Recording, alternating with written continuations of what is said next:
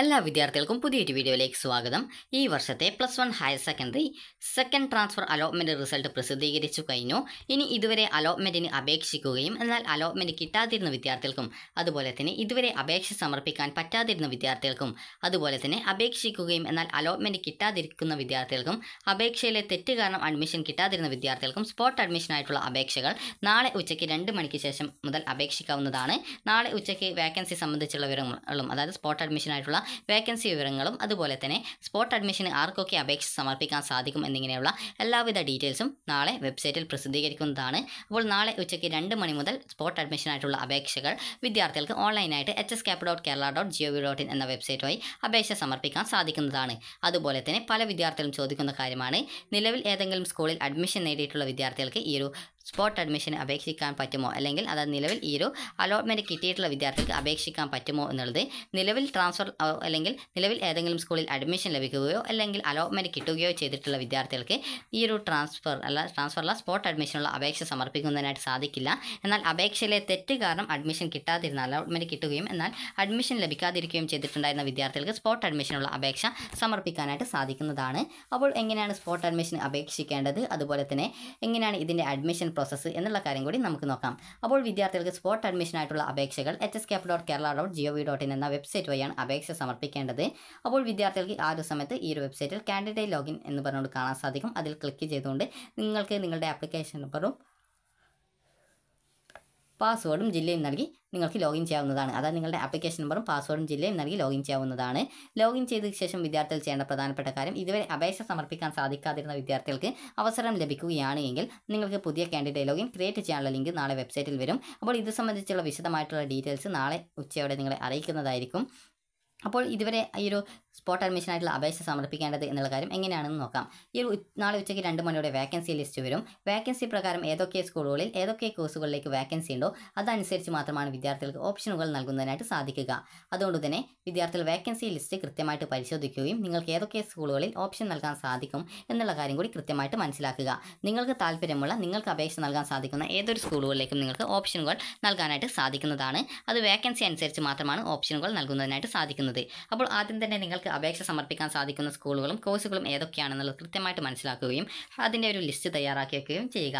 നിങ്ങൾക്കിപ്പോൾ താല്പര്യമുള്ള അതായത് തൊട്ടടുത്തുള്ള സ്കൂളുകളൊക്കെ നിങ്ങൾക്ക് ഓപ്ഷൻ വെക്കാവുന്നതാണ്. സ്പോട്ട് അഡ്മിഷൻ ആയതുകൊണ്ട് തന്നെ അലോട്ട്മെന്റ് പോലെ ആയിരിക്കില്ല അതുകൊണ്ട് തന്നെ നിങ്ങൾക്ക് താല്പര്യമുള്ള ഏതൊരു വിധ സ്കൂളിലേക്കും നിങ്ങൾക്ക് ഓപ്ഷനുകൾ നൽകാനായിട്ട് സാധിക്കുന്നതാണ്. ഇനി വിദ്യാർത്ഥികൾ ശ്രദ്ധിക്കേണ്ട പ്രധാനപ്പെട്ട കാര്യം കാൻഡിഡേറ്റ് ലോഗിൻ ചെയ്യുക. നിങ്ങളുടെ അപ്ലിക്കേഷൻ നമ്പറും പാസ്വേഡും ജില്ലയും നൽകി ലോഗിൻ ചെയ്യുക. ലോഗിൻ ചെയ്ത ശേഷം നിങ്ങളുടെ ഫോണിലേക്ക് ഒരു സെൻഡ് ഒ എന്ന് പറഞ്ഞുകൊണ്ട് നൽകുന്നതിനായിട്ട് ഒരു സെൻഡ് ഒ ബട്ടൺ കാണാം. അതിൽ ക്ലിക്ക് ചെയ്തുകൊണ്ട് നിങ്ങളുടെ ഫോണിലേക്ക് വരുന്ന ഒരു ഒ ടി പി വരും. അത് കൃത്യമായിട്ട് ആ ഒരു പേരിൽ ടൈപ്പ് ചെയ്ത് കൊടുത്ത് സബ്മിറ്റ് ചെയ്യുക. സബ്മിറ്റ് ചെയ്യുന്ന സമയത്ത് അപ്ലൈ ഫോർ സ്പോട്ട് അഡ്മിഷൻ എന്നുള്ള ലിങ്ക് കാണാം. അതിൽ ക്ലിക്ക് ചെയ്യുക. ക്ലിക്ക് ചെയ്യുന്ന സമയത്ത് ഓൾറെഡി അപേക്ഷ സമർപ്പിച്ച വിദ്യാർത്ഥികൾക്ക് നിങ്ങളുടെ ആപ്ലിക്കേഷനിലെ എല്ലാവിധ ഡീറ്റെയിൽസും കാണാൻ സാധിക്കും. അപേക്ഷയിൽ തെറ്റ് വന്നിട്ട് അലോട്ട്മെന്റ് ലഭിക്കുകയും എന്നാൽ അഡ്മിഷൻ കിട്ടാതിരിക്കുകയും ചെയ്തിട്ടുണ്ടായിരുന്ന വിദ്യാർത്ഥികൾക്ക് നിങ്ങളുടെ ആപ്ലിക്കേഷനിലെ തെറ്റ് എന്താണെന്നുള്ളത് കൃത്യമായിട്ട് മനസ്സിലാക്കി അത് തിരുത്തുക. അതിനുശേഷം വിദ്യാർത്ഥികൾ സബ്മിറ്റ് ചെയ്ത് സബ്മിറ്റ് ചെയ്ത് പോകുന്ന സമയത്ത് നിങ്ങൾക്ക് ഓപ്ഷനുകൾ നൽകാനുള്ള പേജ് വരും. അപ്പോൾ നിങ്ങൾ നേരത്തെ തയ്യാറാക്കിയിട്ടുള്ള ലിസ്റ്റിൽ നിന്നും താല്പര്യമുള്ള എല്ലാ സ്കൂളുകളിലേക്കും നിങ്ങൾക്ക് ഓപ്ഷൻ വെക്കാം. ഇന്ന സ്കൂൾ എന്നില്ല നിങ്ങൾക്ക് താല്പര്യമുള്ള വേക്കൻസി അനുസരിച്ച് നിങ്ങൾക്ക് അപേക്ഷിക്കാൻ പറ്റുന്ന ഏതൊരു ഏതൊരു സ്കൂളിലേക്കും നിങ്ങൾക്ക് ഓപ്ഷനുകൾ നൽകാൻ സാധിക്കും. അപ്പോൾ നിങ്ങൾക്ക് താല്പര്യമുള്ള എല്ലാ സ്കൂളുകളിലേക്കും ഓപ്ഷൻ നൽകിയ ശേഷം നിങ്ങൾക്ക് പിന്നീട് സബ്മിറ്റ് ചെയ്യുന്ന സമയത്ത് നിങ്ങളോട് സർട്ടിഫിക്കറ്റ് ഡീറ്റെയിൽസ് അത് ബോണസോ അല്ലെങ്കിൽ ടൈ ബ്രേക്കോ മറ്റോ ഉണ്ടെങ്കിൽ അങ്ങനെ എന്തെങ്കിലും സർട്ടിഫിക്കറ്റ്സ് ഒക്കെ ഉണ്ടെങ്കിൽ അത് നൽകാനുള്ള ഭാഗമാണ്. അപ്പോൾ ആ ഒരു ഡീറ്റെയിൽസും നൽകി സബ്മിറ്റ് ചെയ്യുന്ന സമയത്ത് നിങ്ങൾക്ക് പ്രിവ്യൂ പേജ് കാണാൻ പറ്റും. പ്രിവ്യൂ പേജ് എന്ന് പറഞ്ഞാൽ ഒരു പച്ച കളറിലായിരിക്കും ആ ഒരു പേജ് ഉണ്ടാവുക. അതിൽ നിങ്ങൾ നൽകിയുള്ള എല്ലാവിധ ഡീറ്റെയിൽസും പരിശോധിക്കാൻ പറ്റും. അതിൽ നിങ്ങളുടെ കാസ്റ്റ് റിലീജിയൻ അതുപോലെ തന്നെ അഡ്രസ്സ് പേര് അതുപോലെ രക്ഷിതാവിന്റെ പേര് എന്നിങ്ങനെ തുടങ്ങി നിങ്ങൾ നൽകിയുള്ള ഓപ്ഷൻസ് എന്നിവ ഉൾപ്പെടെ എല്ലാവിധ ഡീറ്റെയിൽസും കൃത്യമായിട്ട് പരിശോധിക്കേണ്ടതാണ്. അപ്പോൾ ഈ ഒരു എന്തെങ്കിലും തെറ്റുണ്ടെങ്കിൽ അതിന്റെ സൈഡിലായിട്ട് ഓരോ കോളത്തിന്റെ സ്ഥാനത്ത് നിങ്ങൾക്ക് ഒരു പെൻസിൽ ഐക്കൺ കാണാൻ പറ്റും. ജസ്റ്റ് അതിൽ ക്ലിക്ക് ചെയ്തുകൊണ്ട് നിങ്ങൾക്ക് നിങ്ങളുടെ ആ ഒരു ഡീറ്റെയിൽസ് എഡിറ്റ് ചെയ്യാവുന്നതാണ്. അങ്ങനെ എഡിറ്റ് ചെയ്ത് വീണ്ടും സെയിം പേജിൽ തന്നെ അതായത് ആ ഒരു പ്രിവ്യൂ പേജിൽ തന്നെ വരികയും നിങ്ങൾക്ക് ആപ്ലിക്കേഷനിൽ വല്ല തെറ്റുണ്ടോ എന്നുള്ളത് വീണ്ടും ചെക്ക് ചെയ്ത് തെറ്റുകളൊന്നും ഇല്ല എങ്കിൽ നിങ്ങൾക്ക് പിന്നീട് ആ ഒരു പേജിലായിട്ട് നിങ്ങൾക്ക് ഒരു ഡിക്ലറേഷൻ ബട്ടൺ എന്ന് പറഞ്ഞുകൊണ്ട് ആ ചെക്ക് ബോക്സ് കാണാം. അതായത് ചെക്ക് ബോക്സ് എന്നുകൊണ്ട് ഉദ്ദേശിക്കുന്നത് ഒരു ചതുരത്തിലുള്ള ഒരു ഇതാണ്. അപ്പോൾ അതിൽ ക്ലിക്ക് ചെയ്യുന്ന സമയത്ത് ഓട്ടോമാറ്റിക്കലി ടിക്ക് ആവും. അപ്പോൾ അതിൽ ടിക്ക് ചെയ്ത ശേഷം കൺഫേം ചെയ്യും മുമ്പായിട്ട് ഒന്നുകൂടി നിങ്ങളുടെ ആപ്ലിക്കേഷൻ വല്ല തെറ്റുണ്ടോ എന്നുള്ളത് വീണ്ടും ചെക്ക് ചെയ്യുക. ചെക്ക് ചെയ്ത് ഒരു തെറ്റുമേ ഇല്ല എന്നുള്ളത് ഉറപ്പുവരുത്തുകയാണ് ഉറപ്പാണെങ്കിൽ മാത്രം ഫൈനൽ കൺഫർമേഷൻ ചെയ്യുക. ഫൈനൽ കൺഫർമേഷൻ ചെയ്ത് കഴിഞ്ഞാൽ പിന്നീട് വരുന്ന പേജിൽ സ്പോട്ട് അഡ്മിഷന്റെ അപ്ലിക്കേഷൻ ഫോം ഡൗൺലോഡ് ചെയ്യാനായിട്ട് അത് പ്രിന്റ് ഔട്ട് എടുക്കാനുള്ള ലിങ്ക് ഉണ്ടാവും. അതിൽ ക്ലിക്ക് ചെയ്ത് നിങ്ങൾ അതിന്റെ പ്രിന്റ് ഔട്ട് നിർബന്ധമായിട്ടും എടുക്കുക. അതിനുശേഷം വിദ്യാർത്ഥികൾ ചെയ്യേണ്ട പ്രധാനപ്പെട്ട കാര്യം പിന്നീട് ഏകദേശം ഈ ഒരു അപേക്ഷ അവസാനിച്ച് ഏകദേശം അടുത്ത ദിവസം തന്നെ റാങ്ക് ലിസ്റ്റ് വെബ്സൈറ്റിൽ പ്രസിദ്ധീകരിക്കും. റാങ്ക് ലിസ്റ്റ് വെബ്സൈറ്റിൽ പ്രസിദ്ധീകരിച്ചു കഴിഞ്ഞാൽ നിങ്ങൾക്ക് ആ ഒരു റാങ്ക് ലിസ്റ്റ് നിങ്ങൾക്ക് അതായത് ഇതേ രീതിയിൽ തന്നെ സ്കൂൾ വെച്ച് അഡ്മിറ്റഡ് ലിസ്റ്റ് രീതിയിൽ തന്നെ ആയിരിക്കും ഉണ്ടാവുക. അപ്പോൾ നിങ്ങൾ റാങ്ക് ലിസ്റ്റ് ക്ലിക്ക് ചെയ്യുക. ക്ലിക്ക് ചെയ്യുന്ന സമയത്ത് നിങ്ങൾക്ക് പിന്നീട് വരുന്ന പേജിൽ നിങ്ങൾക്ക് കാണാനായിട്ട് സാധിക്കുക എന്താണെന്ന് ചോദിച്ചാൽ നിങ്ങൾക്ക് ഈ ഒരു അതായത് നിങ്ങൾക്ക് കാണാനായിട്ട് സാധിക്കുന്നത് ഇതേ രീതിയിൽ ജില്ല സെലക്ട് ചെയ്ത് കൊടുക്കാനായിരിക്കും ഉണ്ടാവുക. അപ്പോൾ നിങ്ങൾ ആ ഒരു ജില്ല സെലക്ട് ചെയ്ത് കൊടുക്കുന്ന സമയത്ത് ഇതേ രീതിയിൽ തന്നെ നിങ്ങൾക്ക് സെലക്ട് സ്കൂൾ അതുപോലെ തന്നെ സെലക്ട് കോഴ്സ് കോമ്പിനേഷൻ എന്നിങ്ങനെയുള്ള ഓപ്ഷൻ ഉണ്ടാവും. അപ്പോൾ നിങ്ങൾ ആ ഒരു രീതിയിൽ നിങ്ങൾ സെലക്ട് ചെയ്ത് കൊടുക്കുക. അപ്പോൾ നിങ്ങൾക്ക് ഏത് കോഴ്സാണ് സെലക്ട് ചെയ്ത് കൊടുക്കുന്നത് ഇതിനനുസരിച്ച് ആ ഒരു കോഴ്സ് സെലക്ട് ചെയ്ത് കൊടുക്കുന്ന സമയത്ത് സബ്മിറ്റ് ചെയ്യുക.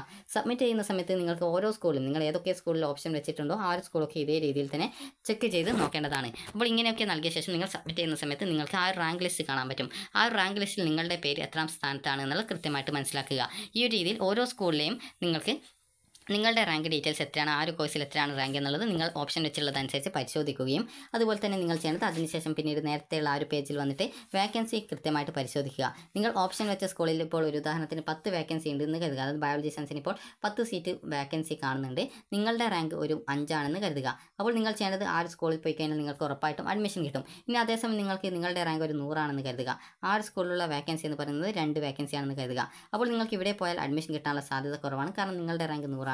അതിനു മുമ്പ് ഏകദേശം കുറേ വിദ്യാർത്ഥികൾ ഉണ്ടായിരിക്കും. അപ്പോൾ ഇങ്ങനെ നിങ്ങൾ പരിശോധിച്ച് നിങ്ങൾക്ക് ഏറ്റവും കൂടുതൽ അഡ്മിഷൻ കിട്ടാൻ സാധ്യത ഏത് സ്കൂളിലാണ് അല്ലെങ്കിൽ നിങ്ങൾക്ക് താല്പര്യമുള്ള സ്കൂൾ ഏതാണ്? അവിടെ അഡ്മിഷൻ കിട്ടാൻ സാധ്യത ഉണ്ടോ എന്നുള്ളത് കൃത്യമായിട്ട് മനസ്സിലാക്കുകയും ആ ഒരു സ്കൂളിൽ അന്നേ ദിവസം അതായത് നിങ്ങൾ ഏത് ദിവസമാണ് ഈ ഒരു സ്കൂളിൽ സ്പോട്ട് അഡ്മിഷനായിട്ട് പങ്കെടുക്കേണ്ടത് എന്നുണ്ടാവും. അന്നേ ദിവസം ഉച്ചയ്ക്ക് പന്ത്രണ്ട് മണിക്ക് മുമ്പായിട്ട് നിങ്ങൾ സ്കൂളിൽ എത്തിച്ചേരണം എന്ന് പറയും. അപ്പോൾ അതുകൊണ്ട് തന്നെ ഏകദേശം രാവിലെ പതിനൊന്ന് മണിക്കകം തന്നെ ആ ഒരു സ്കൂളിൽ എത്തിച്ചേരാനായിട്ട് ശ്രദ്ധിക്കുക. എത്തിയിട്ട് നിങ്ങളുടെ പേര് അവിടെ രജിസ്ട്രേഷൻ ചെയ്യണം. അങ്ങനെ ആ ഒരു സ്കൂളിൽ അന്ന് ഉച്ചയ്ക്ക് പന്ത്രണ്ട് മണി വരെ അപേ വന്നിട്ട് അപേക്ഷ സമർപ്പിച്ച വിദ്യാർത്ഥികളുടെ ലിസ്റ്റ് തയ്യാറാക്കുകയും ആ ഒരു ലിസ്റ്റ് പ്രകാരം നിങ്ങളുടെ ഡബ്ല്യു ജി പി അനുസരിച്ച് ഒരു റാങ്ക് പട്ടിക തയ്യാറാക്കുകയും അവിടുത്തെ വേക്കൻസിക്ക് അനുസരിച്ച് നിങ്ങൾക്ക് അഡ്മിഷൻ നൽകുകയുമാണ് ചെയ്യുക. അപ്പോൾ ഈ ഒരു രീതിയിൽ നിങ്ങൾക്ക് അന്നേ ദിവസം ഉച്ചയ്ക്ക് പന്ത്രണ്ട് മണിക്ക് മുമ്പ് എന്ന് പറഞ്ഞാൽ ആ ഒരു കൃത്യസമയം തന്നെ പാലിക്കണം. കാരണം ലേറ്റ് ആയി കഴിഞ്ഞാൽ അഡ്മിഷനോ അല്ലെങ്കിൽ റാങ്ക് ലിസ്റ്റ് ഉൾപ്പെടുത്തി അഡ്മിഷൻ നൽകുകയോ ചെയ്യാറില്ല. അക്കാര്യം വിദ്യാർത്ഥികൾ പ്രത്യേകം ശ്രദ്ധിക്കുക. അതുകൊണ്ട് തന്നെ കൃത്യസമയത്ത് തന്നെ സ്പോട്ട് അഡ്മിഷനിൽ പങ്കെടുക്കുന്നതിനായിട്ട് പ്രത്യേകം ശ്രദ്ധിക്കേണ്ടതാണ്. അപ്പോൾ ഇങ്ങനെ നിങ്ങൾ പങ്കെടുത്തു കഴിഞ്ഞാൽ നിങ്ങൾക്ക് ഈ ഒരു രീതിയിൽ അഡ്മിഷൻ ലഭിക്കുന്നതായിരിക്കും. ഇനി വിദ്യാർത്ഥികൾക്ക് പിന്നീട് ഈ സ്പോട്ട് അഡ്മിഷന് ശേഷം പിന്നീട് ഈ വർഷത്തെ plus one higher secondary admission process അവസാനിപ്പിക്കുന്നതായിരിക്കും.